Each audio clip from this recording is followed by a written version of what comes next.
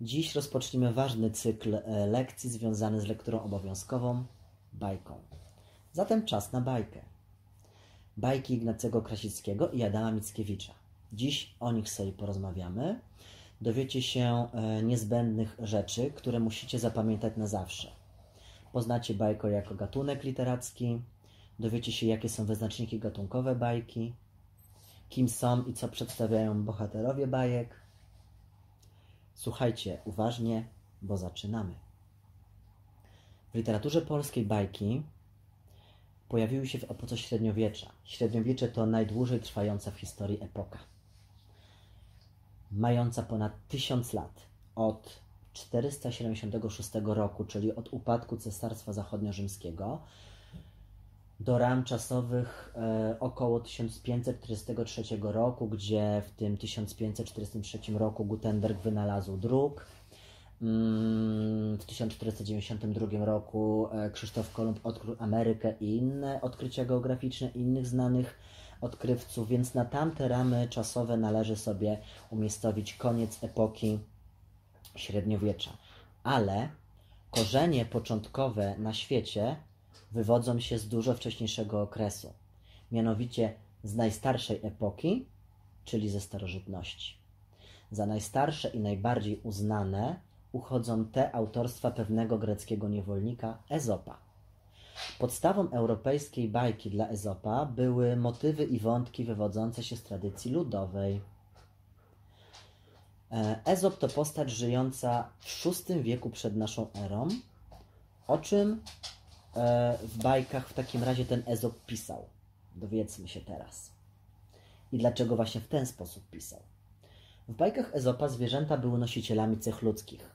Obrazowały ludzkie cechy, wady i zachowania. Miały na celu moralizowanie ludzi, czyli coś na kształt pouczenia, a nawet krytyki. Zobaczcie, już wtedy bajki miały na celu moralizowanie i ukazywanie pouczeń. Zatem dlaczego Ezop nie robił tego wprost, a cechami ludzi obdarzał zwierzęta? Dlatego, że nie mógł o pewnych rzeczach mówić wprost. Wyobraźcie sobie, jeżeli on wyśmiewał ludzką chytrość, zazdrość czy inne złe cechy i mówiłby o tych ludziach w bajkach wprost, wymieniałby ich z imion, no to nie byliby oni zadowoleni. Ale jeżeli uniwersalne złe cechy ludzi wcielał pod postacią zwierząt i pisał, to wtedy każdy wiedział, że to są złe cechy, ale nikt nie wiedział, że dotyczą one konkretnych ludzi. I taki właśnie zabieg stosował Ezop. Zatem sprytnie bohaterami bajek uczynił zwierzęta, które uosabiają cechy ludzkie i wady charakteru. Ezop stosował język alegorii i symboli. Cóż to takiego? To bardzo ważne pojęcia, posłuchajmy. Alegoria jest motywem w dziele literackim, które poza znaczeniem dosłownym ma sens dodatkowy, domyślny. Bajki zwierzęce mają charakter alegoryczny, to znaczy, że zwierzęta obdarzone są jednoznacznymi cechami ludzkimi. Na przykład lista alegoria przebiegłości, wilk siły i bezwzględności, osioł alegoria głupoty, mrówka alegoria pracowitości, sowa mądrości, lew odwagi męstwa, zając tchórzostwa. Zobaczcie, alegoria jedno konkretne znaczenie. A czym jest symbol? W alegorii zwierzęta są nosicielem jakiejś jednej wyraźnej, konkretnej ludzkiej cechy, natomiast symbol to pojęcie odnoszące się do wieloznaczności. Alegorię rozumiemy jednoznacznie. Pamiętacie na przykład mitologię i tułaczkę Odyseusza, gdzie czego właśnie alegorią e, było ludzkie życie? Alegorią podróży. Życie Odyseusza. Każdy z nas może odnieść jako alegorię naszego życia, które jest ciągłą podróżą od narodzin do momentu śmierci. Symbol zaś ma znaczenie realne i przenośne, jest więc wieloznaczny a alegoria ma znaczenie ustalone, rozpoznawalne przez każdego odbiorcę, niezależnie od utworu i od tego, po jakie sięgnie dzieło. Jeżeli tam będzie występowała alegoria, to ona będzie miała zawsze to samo jedno ustalone znaczenie, zapamiętajcie. Symbol wieloznaczność, alegoria konkretne jedno ustalone znaczenie. Symbol to znak, motyw posiadający podwójne znaczenie. Na przykład statek. Statek to jednostka pływająca, pojazd do poruszania się e, po drodze wodnej, możemy powiedzieć. Natomiast drugie jego znaczenie to na przykład w poezji statek będzie symbolem wolności i przygody. Warto również dodać, że symbol każdy z nas może stworzyć sam. Natomiast alegorii nie można wymyślić, tylko posłużyć się taką już istniejącą przez lata, przez lata utartą i znaną od zarania dziejów. Pojęcia symbolu i alegorii będą nam potrzebne jeszcze przy omawianiu przypowieści biblijnych, także zapamiętajcie je na zawsze. Stając już pojęcie alegorii i symbolu, możemy przybliżyć się do bajki. Mówiąc bajka, nie możemy myśleć o kreskówce z kanału telewizyjnego em, współczesnej produkcji. My zajmiemy się tutaj prawdziwą i gatunkową bajką, która utrwaliła się w Polsce w XVIII wieku, a które pisał m.in. Adam Mickiewicz i Ignacy Krasicki. Zaczniemy od cechy bajki jako gatunku literackiego. Wiemy już, że utwory mogą być pisane wierszem, wtedy będą one zawierały podział na wersy i strofy, lub mogą być pisane prozą, wtedy nie będą zawierały podziału na wersy. Czym jest zatem bajka? Bajka to krótki utwór literacki napisany wierszem lub prozą, którego bohaterowie, najczęściej zwierzęta, rośliny, uosabiają, noszą cechy ludzkie. Bajka zawiera pouczenie, morał, czyli moralne lub etyczne pouczenie, puentę o charakterze wskazującym, nakierowującym, dającym do myślenia i pouczającym. Bajki pokazują, jak postępować i czego unikać w życiu. Bajka należała będzie do rodzaju literackiego zwanego epiką. Cechy bajki. Bajka jest jednym z gatunków literackich, należy do epiki. Przedstawia historię, której bohaterami są zwierzęta, ludzie, niekiedy rośliny i przedmioty. Zwierzęta nie tylko mówią, ale zachowują się jak ludzie. Na przykład knują, wymyślają sprzeczki, rządzą, kłócą się, e, władają krajem, intrygują, przechytrzają się wzajemnie. Zatem bohaterowie bajek są obdarzeni wyraźnymi cechami charakteru. Bajka zawiera alegorię, to znaczy pod postaciami zwierząt kryją się ludzie ze swoimi konkretnymi wadami i zaletami. A historia w bajce jest historią przedstawiającą jakąś ogólną prawdę życiową. Bajka ma dwa sensy znaczeniowe: taki dosłowny i taki przenośny, który możemy interpretować. Bardzo ważną cechą bajki jest to, że ona ma charakter dydaktyczny. Co to znaczy? To znaczy, że przekazuje ważne prawdy życiowe, uczy pewnych zachowań i postępowań. Zawiera morał, czyli wniosek i mądrość, refleksję, pouczenie, które umieszczone jest zawsze albo na końcu, albo na początku utworu. Bajki opierają się na kontraście. Kontrast to przeciwieństwo zachowań i postaw skrajnych, na przykład mądrość kontra głupota, spryt kontra naiwność, piękno, brzydota. Kontrast to przeciwność, dobro, zło, dzień, noc, czarny, biały, suchy, mokry. Podział bajek. Mamy dwa rodzaje bajek: bajki epigramatyczne i bajki narracyjne. Bajka epigramatyczna to będzie taka, która będzie krótka i zazwyczaj czterowersowa. Jeżeli zobaczymy taką bajkę, to powiemy: Oho, jest to bajka epigramatyczna. Będzie ona miała krótką fabułę, ograniczoną do minimum i z reguły cztery wersy. Natomiast jeżeli zobaczymy dłuższą bajkę, gdzie będą bardziej rozbudowane i szersze fabuły, to będzie to bajka narracyjna. Pora na pytanie, co jest tematem bajek. Tematem bajek jest, jak możemy się już domyśleć, krytyka postaw wad zachowań ludzkich, na przykład krytyka chytrości. Bohaterowie bajek reprezentują przeciwne cechy. Tak jak przed chwilą o tym wspomniałem. To właśnie jest kontrast. Ma on na celu silniejsze zarysowanie i zobrazowanie zachowań.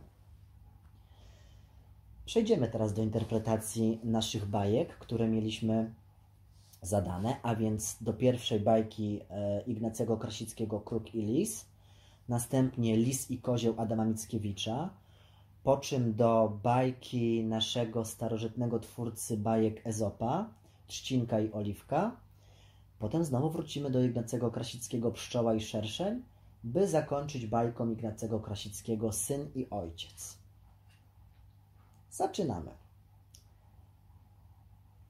W bajce Kruk i Lis, która rozpoczyna się morałem bywa często zwiedzionym, kto lubi być chwalonym, mamy dwóch bohaterów. Zobaczmy teraz, jakie są tam wydarzenia. Jest kruk i jest lis.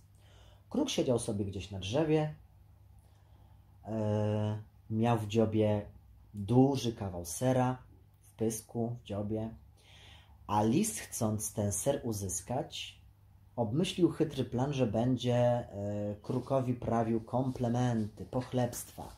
Wypowiadał się o jego pięknych oczach, piórach, i podstępnie zapewnią, że zapewne kruk ma też równie piękny głos. Kruk niewiele myśląc, na fali tej całej chwały, rozchylił dziób, żeby wydobyć z siebie głos i zaśpiewać. No i jak się sami domyślacie, rozdziabił dziób i z tego dzioba wypadł mu ten ogromny kawałek sera. Lis tylko na to czekał. Sapnął, porwał kawał sera i uciekł.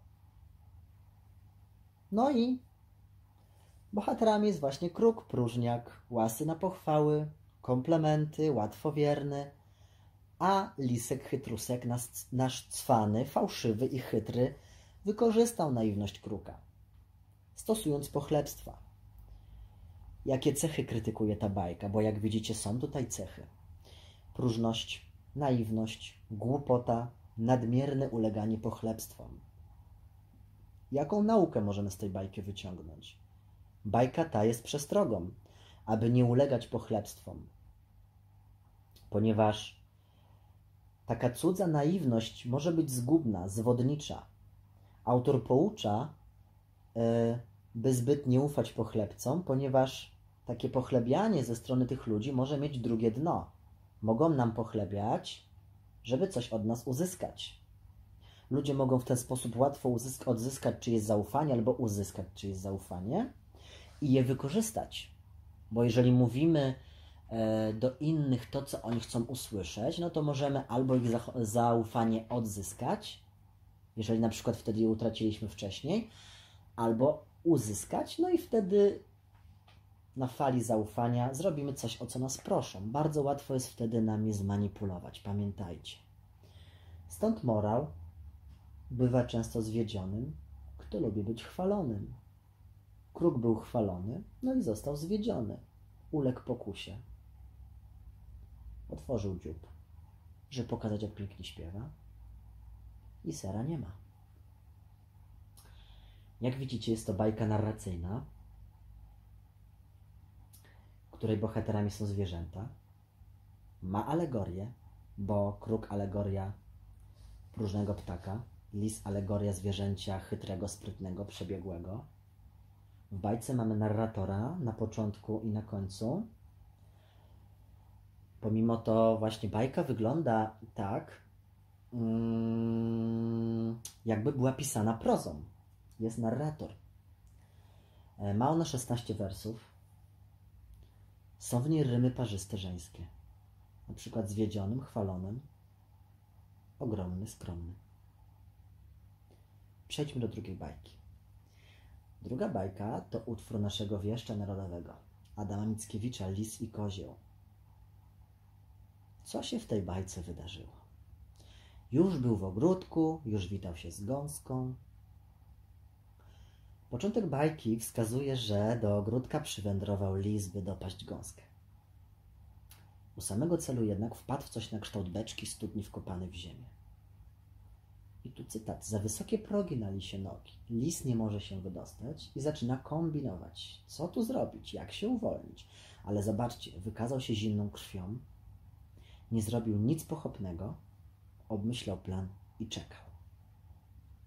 Gdy nagle do tej studni zbliżył się kozioł, zajrzał do niej. Lis wykorzystał swój spryt, udał, że pije pyszną wodę. Zachwalał, że taki dobry jeszcze nie pił nigdy w życiu. Głupi kozioł, alegoria, wskoczył do studni, by ugasić pragnienie. W tym czasie lis po jego grzbiecie, raz, dwa, trzy, szast, prast, hyc, uwolnił się z pułapki. W bajce występują dwie postacie. Lis, podobnie jak u Krasickiego, jest symbolem, wzorem przebiegłości. Opanowany jest, cwany, sprytny, inteligentny, nie poddał się. Umiał planować. Kozioł, kozioł, kozioł, bezmyślny, naiwny, prymitywny. Czemu można powiedzieć, że prymitywny? Um, kozioł używa e, dziwnych słów w stosunku do e, lisa, na przykład ryży kudła, ale o tym powiem za chwilę. Ponieważ chciałem powiedzieć, że Adam Mickiewicz w tej bajce piętnuje głupotę i łatwowierność. To kolejny przykład bajki narracyjnej ze zwierzęcymi bohaterami. Kozioł myślał, że jest sprytny, a okazał się prostacki i ograniczony. Dał się podpuścić sprytnemu lisowi. I właśnie te słowa, o których wcześniej powiedziałem, mówi do lica. Ej, ty, ryży kudła, wara od źródła. Takie niemiłe określenie w stosunku do lisa wskazuje na prostacki bardzo język mm, tego kozioła. No i kozioł był głupi, ponieważ nie domyślił się w ogóle pułapki, a cwany lis pokazał, że nawet w trudnej sytuacji należy zachować zimną krew, opanowanie, by cierpliwie poczekać i wyjść z opresji. Klęska poniesiona w studni okazała się dla lisa zwycięstwem. E, bajka napisana jest wierszem, są tutaj rymy żeńskie, opowiada w niej narrator, są wyrazy mm, dźwiękonaśladowcze, więc onomatopeje, na przykład chłepce cmoka. Jest też środek stylistyczny zwany przerzutnią, już mówiłem Wam o niej na lekcjach.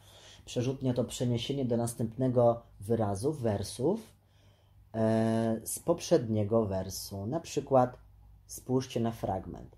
Za wysokie progi, koniec wersu, przeniesienie na drugi wers, na lisie nogi. Wers dokończony w następnym wersie. Mamy tutaj również związek frazologiczny wścibiać nos, czyli nie wtrącać się w cudze sprawy. Narrator również zwraca się do, tutaj do czytelnika w drugiej osobie liczby pojedynczej w trybie rozkazującym. Mówi do nas tak. Postaw się teraz w tego lisa położeniu, a więc druga osoba. Ty postaw się w tego lisa położeniu. Mamy też zaimki. Czym jest zaimek? Przypominam. Odmienna część mowy, zastępująca rzeczownik, przymiotnik, liczebnik, pełniąca funkcję w zdaniu tej części mowy, którą zastępuje. I jest tutaj zaimek nasz. Na przykład nasz lis takich głupstw nie lubi. Przejdziemy teraz do twórcy, do Ezopa z VI wieku przed naszą erą, do bajki pod tytułem Trzcina i Oliwka. Bohaterkami są postacie posiadające cechy ludzkie. Trzcina i Oliwka. Oliwka wytykała trzcinie, że ta nie potrafi się oprzeć wiatrowi. Nadeszła wichura i okazało się, że trzcina nienaruszona przetrwała ten czas. Natomiast gwałtowny podmuch wiatru połamał za to oliwkę. Małą z pozoru oliwkę, która mm, udawała silną, pokonał podmuch wiatru. Ona e, przechwalała się. Czyli można powiedzieć, że ktoś mały z pozoru nie musi być wcale najsłabszy. Ci, którzy myślą, że są najsilniejsi i najwięksi, wcale nie muszą się takimi okazać. E, Ezop pokazuje, żeby nie śmiać się z innych, bo samemu można nie przetrwać, będąc w tarapatach. Ta bajka napisana jest prozą. Oliwka była tutaj zapatrzona w siebie i nazbyt pewna, a trzcina skromna i nieustraszona. Morał tej bajce zawiera się na samym końcu. Delikatność i cierpliwość więcej są warte niż zuchwały bunt. Taki morał posiada bajka Ezopa Trzcina i Oliwka. Kolejną bajką jest utwór Ignacego Krasickiego Pszczoła i Szerszeń, czyli dwa owady. Pszczoła próżna, bezwzględna, nosząca cechy ludzkie, takie jak pycha, złośliwość, złość, wywyższanie się, grozi szerszeniowi swoim żądłem. Nazywa go niegodnym żywienia, darmozjadem. E, uważa, że to ona pracuje wiele i jej się wszystko należy. Szerszeń przyznaje jej rację, ale jednocześnie pyta, czy ma prawo tak do niego mówić i krytykować go. Bo mówi do niego: Idź precz od nas, próżniaku, niegodzien żywienia. Mówiła żądłem grożąc pszczoła do szerszenia. Jakie cechy są tutaj piętnowane? Na pewno wywyższanie się, na pewno próżność, na pewno mamy tutaj e, wszystkie cechy ludzi, którzy chcą brać nad innymi ludźmi górę, czyli w nieuzasadniony sposób przechwalać się albo uważać, że im się coś więcej należy, czego nie należy się innym. Zwróćcie uwagę, że mamy tutaj rymy parzyste. Żywienia szerszenia, obchodzi, godzi, użalić, chwalić. Żeńskie Ostatnie półtorej sylaby się rymuje. Zwróćcie na to uwagę i zapamiętajcie. Natomiast bajka Ignacego Krasickiego Syn i Ojciec to bajka, w której występują dwie kontrastowe postacie. Kontrast, czyli przeciwności. Syn i ojciec. Dlaczego kontrast? Ponieważ dotyka ich nieszczęście, ale każdego z nich dotyka inne nieszczęście. Ojciec i syn a rozpoczyna ją myśl, że każdy wiek ma goryczy, ma swoje przywary. I te goryczy i przywary zostały ukazane właśnie w bajce. To bajka bardzo bliska ludziom. Wam, uczniom na pewno też, ponieważ e, mówi o chłopcu, który nie chce się uczyć. Mm, opowiada ona o synu, który chodzi do szkoły, narzeka, że przez to nie ma na nic czasu, że musi się uczyć, e, że mm, jest mu z tym źle, a ojciec skarży się natomiast na coś innego. Na to, że jest już stary i chciały być młody. Żaden nie był zadowolony ze swojego wieku. Młody z tego, że jest młody i musi jeszcze chodzić do szkoły, a stary z tego, że jest stary i nie może już być tak młody, jak jest jego syn. Każdy z nich jest nieszczęśliwy, ale każdy na swój sposób z innego powodu. Jeden cierpi z nieszczęśliwości starości, jeden cierpi z nieszczęśliwości młodości. Bohaterowie to ojciec, człowiek e, stary, tęskniący za młodością, syn to człowiek młody, który pragnie swobody. Płakał ojciec, że stary, płakał syn, że młody. Obaj płakali, każdy z innego powodu. Ta bajka krytykuje następujące cechy: narzekanie, niezadowolenie z życia, zrzędliwość na swój los, marudzenie, życiowy pesymizm. Jaka nauka płynie z bajki? Przede wszystkim taka, że trudno o uniwersalne pojęcie szczęścia, bo jest ono nieosiągalne.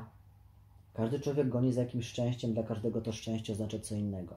Człowiek stary pragnie e, być młody, a młody chce być dorosły i decydować o sobie. Postać syna i ojca to dwa kontrasty ukazujące problem młodości i starości. W budowie tej bajki występują rymy parzyste żeńskie. Na przykład Przywary stary, swobody młody. E, Jest to krótka bajka czterowersowa, a więc epigramatyczna, bo posiada ograniczoną fabułę. To tyle o bajkach. Po tej solidnej garści wiadomości na pewno dogłębnie zrozumiecie pojęcie bajki i jej cechy, jej rolę, jaką niesie ze sobą. E, Pamiętajcie, że bajki nie tylko mają bawić czytelnika, ale także uczyć poprzez przekazanie istotnych, uniwersalnych prawd o świecie, e, które zostały Wam przybliżone powyżej. Mm, Zarówno Ignacy Krasicki, jak i Adam Mickiewicz napisali tych bajek bardzo dużo. Sam Krasicki ponad setkę. E, My poznaliśmy tylko kilka z nich. Mm, Ale na przykładzie tych bajek wiemy, czym są bajki. Wiemy, że właśnie główną rolę grają w nich zwierzęta, tak jak e, w bajce Lis i Kozieł, czy w bajce Kruk i Lis, czy na przykład rośliny, tak jak w bajce Zopa, Trzcina i Oliwka. E, To tyle na dziś. Do usłyszenia.